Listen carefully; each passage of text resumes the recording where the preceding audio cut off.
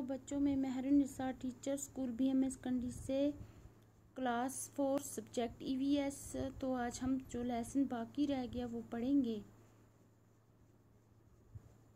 Can you hear the noise of Chenab river क्या आप चनाब नदी का शोर सुन सकते हो?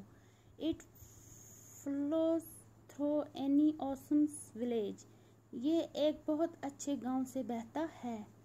He fast the river flow jumping all the way ये नदी का पानी कितना तेज बहता है? Perhaps the river wants to say नदी, ये, शायद ये नदी कहना चाहती है।